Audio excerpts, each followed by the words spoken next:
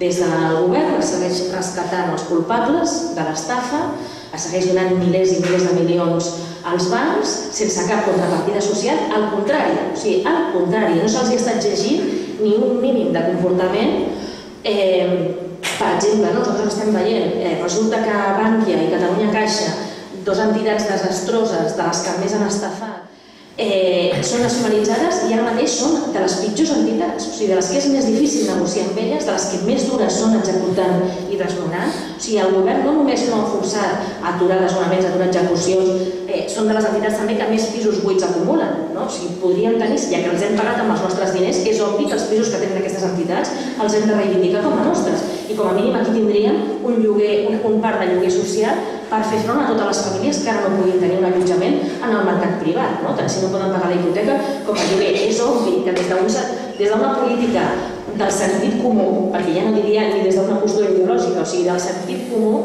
és evident no? que aquests habitatges s'haurien de destinar a lloguer social. Doncs pues res, estan oferint-los al Sareb, a inversors estrangers, a fondos buitres americans, a qui a més els estan malvenent a preus, a tirats de preus, no? o sigui, els descomptes que no li fan les famílies, aquestes dacions en pagament que no es poden fer les famílies perquè diuen que s'ensorraria el sistema, en canvi als inversors se'ls regalen pràcticament aquests habitatges tirats de preu. No?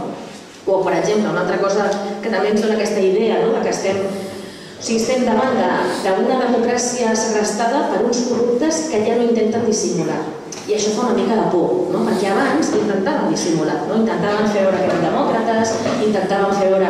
Però avui sortia el dia Ferran dient que els atacs eh, feixistes, eh, que no són tan greus, sinó que són comprensibles i que en realitat el greu són els escratxes, no? O sigui, eh, o sigui, justificant atacs feixistes, o per exemple, ahir sortia la notícia el, el Botín, no? el Santander, que acaba de fitxar a Rato, a rato, o sigui que està imputat, que han enfonsat Bànquia, els Santander, que se suposa que presumeix de ser una entitat bancària seriosa, nosaltres sabem que no ho és, però ells presumeixen de ser-ho, doncs va i fitxen a rato. O sigui, això vol dir que realment els importa un blero el que nosaltres pensem. No? O sigui, ells s'ajuden entre ells, el rato deu saber més secrets que ningú de tots els corruptes i els xorissos d'aquest país, amb qual tindrà feina assegurada sempre, eh, i així estan les coses. No?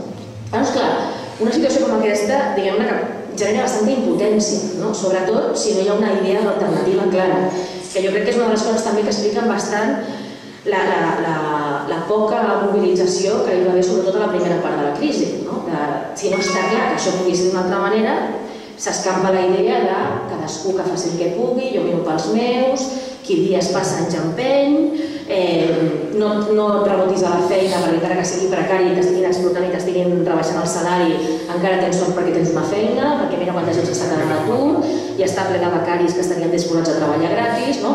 i ens estan llançant constantment aquest llenguatge d'amenaça, no? de por, de eh, encara podríeu estar pitjor. No? I per tant, eh, estigues tranquil·let i content del que tens, perquè com que no hi ha alternativa, no? Llavors, ah, tenim un problema amb això, no? que d'alguna manera ens han convençut com a població, com a societat, que les coses no poden ser d'una altra manera. Aquest és un dels grans obstacles que penso que tenim com a, com a societat i que l'hem de vèncer, l'hem de superar. Però també hi ha una altra cosa, no? que és una cosa que ens vam trobar amb la plataforma quan vam començar, que és això que us comentava abans de, de l'empoderament, que clar, una cosa és pues, tenir les idees clares, no? saber que hi ha xorissos, que hi ha gent que estafa, que, eh, sistema capitalista on hi ha uns empresaris que intenten fer el màxim benefici i els és igual als drets de les persones i l'interès general. Una cosa és que et diguin això i que et facin un discurs no? o que et facin un programa de mesures, però després tu has de batallar cada dia amb la teva vida.